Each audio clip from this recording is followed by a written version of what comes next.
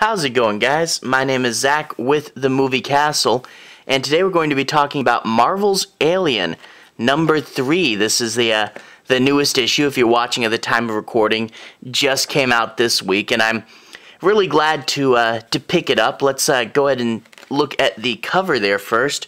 We get this really nice cover of the uh, the girl there with the alien tail wrapping around. Um, her neck there. So a, a, cool way, you know, you can't just draw an alien on the cover every time. And this is a cool way to, to get a character portrait cover, because uh, she's actually a character in the book, uh, but also give this creepy element to it that, you know, didn't really, uh, you know, didn't happen exactly like this. Uh, may be something that happens in the future, but a cool, you know, creepy element of that, that tail hooking up around her there. I really did like this cover. Very, very dark. Um, moving right along, I'm going to flip to the credits first. And here we have to mention, as I always do, uh, a big thank you to the Alien uh, and Marvel team there for putting a previously on here. These uh, previously ons really do help when you're reading something month to month because after a month you kind of forget what's going on and I'll always praise whenever companies put a previously on there. They really should always be doing that, and I really do like that. Um, as with last time, the art, uh, the story rather, is by Phillip Kennedy Johnson. The art by Salvador Larroca, and Guru EFX did the colors. Now, above the Alien logo, and to the right, as always, there's a little schematic there and this time the schematic is for the Grant Corporation personal carrier.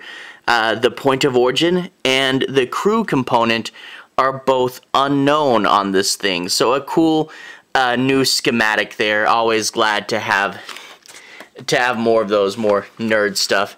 Anyway, let's go ahead and uh, talk a bit about the story. Now that being said, I want to say uh, no major spoilers. I do want to say my piece on a few plot points, and I do want to make sure you guys have a basic understanding as to what this book's about. Uh, but I'll, I'll keep it to setup stuff, and I won't do any of the payoff stuff. Uh, but that being said, no major spoilers for this issue, but I will be talking openly about spoilers for the previous issues. So if you haven't read 1 and 2, uh, go ahead and stop right now. But anyway, we open up where we left off last time the alien has torn his way through one of their guys, and we get a good bit of gore there, uh, where the guy's uh, whole chest cavity got ripped open.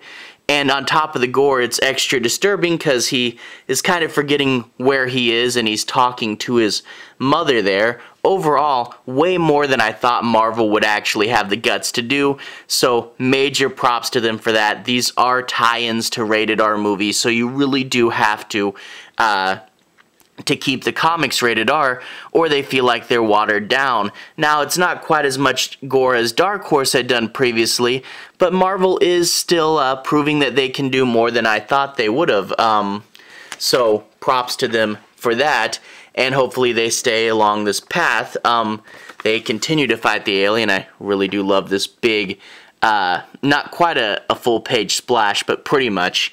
Um, and they wind up with probably the uh, the best possible outcome for that situation is they shoot at the alien till it leaves and only takes the uh, the one guy who is pretty much mortally wounded anyway along with them. They uh, question the scientist, but she doesn't seem to know uh, too terribly much.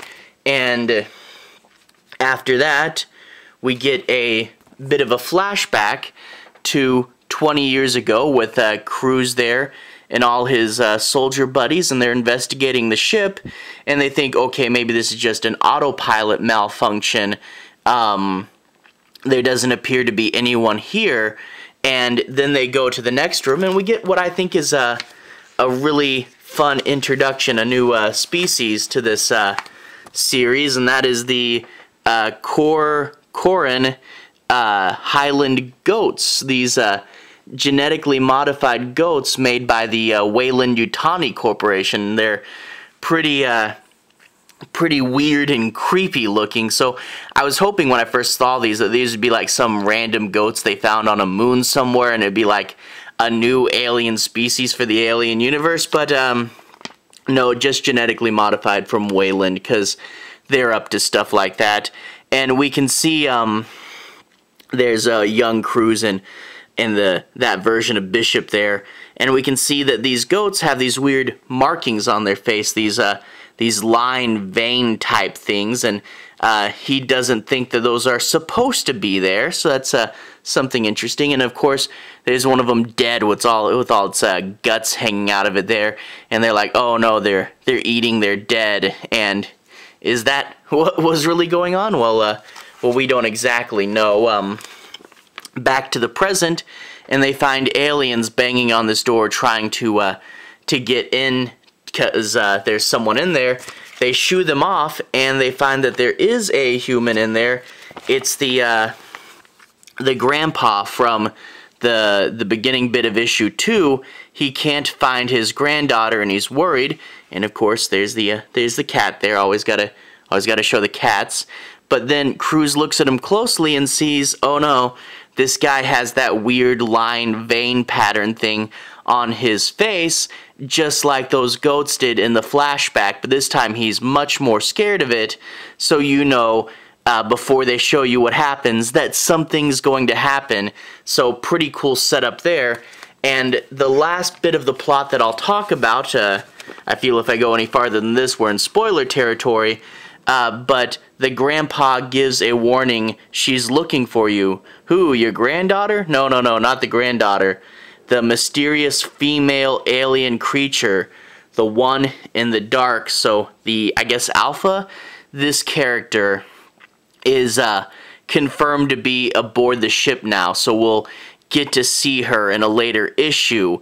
So that's really cool, a good setup, a bit of a warning like, hey, this creature is going to be here wreaking havoc. And I do like when they... Uh, when they give you a bunch of setup and build up, you know, to uh, uh, something that's going to be happening later on. Overall, I, I, really did like this issue. Marvel's Alien continues to go steady. Um, a fair bit of gore. I did like that weird veins on the face thing, which I guess is what the alpha does. Because, you know, each creature, I guess, does something different. It kind of reminded me a bit of Prometheus, where they kept it like Alien, but made different decisions and even though they haven't confirmed whether Alien 3 and 4 are canon, they did in issue 1 confirm that Prometheus is canon by showing the uh, the Cobra facehugger, so I'm wondering how heavy they're going to lean into that.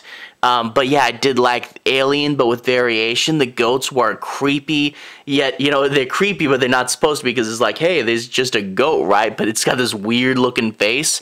Um, and the lines on the face are a really cool, interesting new thing to do. And I really did like that idea of, you know, alien, but there's more to it. And I didn't cover spoilers. There is still a whole nother half of the book, and there's new characters, and there's twists and stuff, and I just, eh, I didn't want to spoil any of that. But at the end, a new character does show up, or, well, you know, someone you didn't know was still going to be there, and I did like to see this character and knowing that this character is going to be in future issues and we're going to get more of this character is really really fun. So a good reveal on the last page there.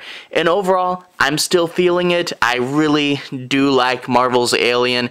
Um, like I said I was worried when they took it away from Dark Horse but they do seem to be doing more gore and violence than I thought Marvel would be capable of doing, and this story really is interesting, and I am wondering what's happening in the past, what's up with these new aliens, and I, I hope it sticks the landing, I hope it stays good. Um, standard plot arcs for uh, comics are either four issues or six issues. I'm betting this is going to be six issues, so we we should be halfway through the first plot arc now, and I really am curious what's going to happen. It really does have me hooked, and I really do like it. So if you're uh, if you've been reading this book, I'd recommend keep going. I really do like it, and yeah, definitely recommend it issue three still good still staying steady that's that's cool anyway to everyone who's watched so far thank you for watching to everyone who's liked and subscribed thank you you're really helping the channel out I'll put a relevant playlist on the bottom if you want to see more including my reviews for issue one and issue two and I also did a custom sketch cover uh, those will be in that playlist so Uh, have a good day. I'll see you guys again very, very soon. Relevant playlist on the bottom. Have a good day now.